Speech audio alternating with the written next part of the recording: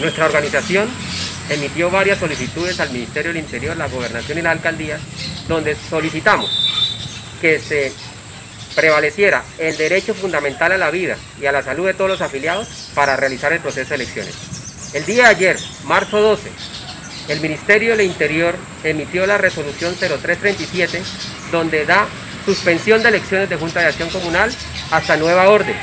Entonces, agradecemos a toda la Junta de Acción Comunal de Colombia que solicitamos al Ministerio del Interior que prevaleciera el interés a la vida y a la salud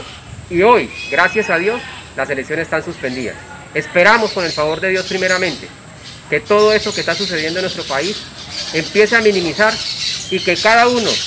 de las juntas de acción comunal puedan hacer sus procesos.